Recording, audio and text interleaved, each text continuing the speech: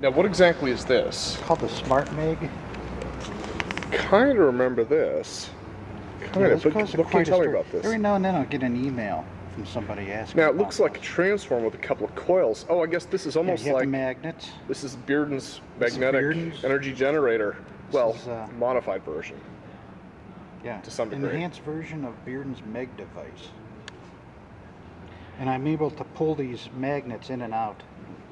And also these are the uh, the gated Hmm.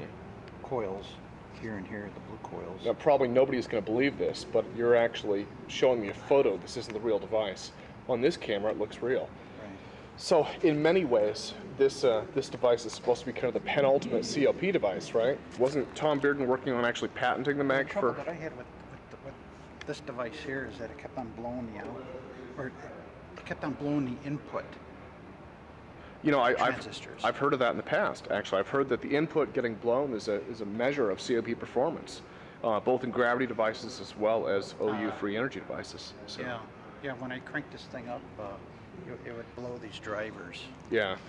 More out than comes in, so the device literally can't handle it sometimes.